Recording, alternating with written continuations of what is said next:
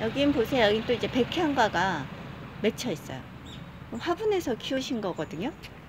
백향가가 지금 이렇게 어 이렇게 맺혀져 가고 있죠. 나중에 이제 까맣게 되면 이제 나중에 이제 까맣게 되시면 그럼 이제 드실 수가 있죠. 근데 겉에 과육은 차로 끓여 드시고 그 다음에 안에 거는 이제 수저로 떠서 드시면 식초와 비슷한 맛이 나죠. 잘 키운 백향가랍니다. 화분에서 키운 거죠.